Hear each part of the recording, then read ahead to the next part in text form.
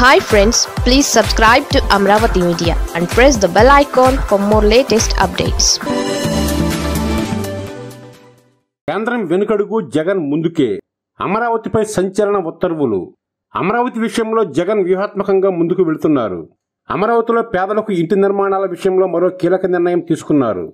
అమరావతి పరిధిలో ఏపీ ప్రభుత్వం తాజాగా నలభై ఏడు వేల పదిహేడు మందికి ఇళ్ళ స్థలాలను కేటాయించింది. ఇంటి నిర్మాణాలకు నిర్ణయించింది. కోర్టుల్లో కేసులు పెండింగ్లో ఉండడంతో కేంద్రం ఇళ్ళ నిర్మాణానికి సబ్సిడీపై మెలికిపెట్టింది సీఎం జగన్ మాత్రం తన నిర్ణయానికే కట్టుబడి ఉన్నారు. ఈ నేపథ్యంలో ప్రభుత్వం తాజాగా కీలక ఉత్తర్వులు జారీ చేసింది. అమరావతిలో ఇంటి నిర్మాణాల వ్యవహారం న్యాయ వివాదంగా మారింది. ఏపీ ప్రభుత్వం మాత్రం రాజధానిలో అందరికీ ఇళ్ళు ఉండాలనే నిర్ణయానికి కట్టుబడి ఉన్నామని స్పష్టం చేస్తోంది. అమరావతిలో పేదలకు ఇంటి స్థలాలను మంజూరు చేశారు. సీఎం జగన్ ఇంటి పట్టాలను కూడా పంపిణీ చేశారు. ఇళ్ళ నిర్మాణం ప్రారంభం కావడానికి ముహూర్తం ఖరారు చేశారు.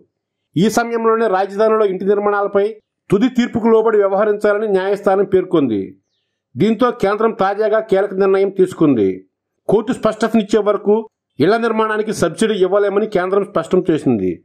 దీనిపైన ఏపీ ప్రభుత్వం తాజాగా జారీ చేసిన ఉత్తర్వుల ద్వారా ఇక ముందుకే వెళ్ళాలని డిసైడ్ అయ్యింది కేంద్ర ఇళ్ళ నిర్మాణానికి సబ్సిడీ విషయంలో వెనకడుగు వేయడంతో ఏపీ ప్రభుత్వమే ఆ భారం మోసేందుకు ముందుకు వచ్చింది. కేంద్రం వాటాను తామే భరిస్తామంటూ తాజాగా జీవో జారీ చేసింది. ఇంటి నిర్మాణాల కోసం దాదాపుగా తొమ్మిది వందల పదహారు కోట్లు రాష్ట్ర ప్రభుత్వం భరించాల్సి ఉంటుంది. అమరావతి కొందరిదే కాదు అందరిది అనేది వైసీపీ ప్రభుత్వం బలంగా వినిపిస్తున్న వాదన. అమరావతిలో పేదలకు ఇంటి నిర్మాణాలను టీడీపీ అడ్డుకుంటోందని వైసీపీ ఆరోపిస్తోంది. ఎన్టీఆర్ గుంటూరు జిల్లాలకు చెందిన పేదలకు ఇక్కడ ఇంటి స్థలాలు పంపిణీ చేశారు. దీనిని అమరావతి జేఏసీ వ్యతిరేకిస్తోంది. దీనిపైన న్యాయస్థానాలను ఆశ్రయించింది. న్యాయస్థానాల్లో ఉన్న కేసుల కారణంగా కేంద్రం సబ్సిడీపై మెలికిపెట్టింది ముఖ్యమంత్రి జగన్ ఆ భారాన్ని కూడా రాష్ట్ర ప్రభుత్వమే భరించేందుకు సిద్ధమయ్యారు.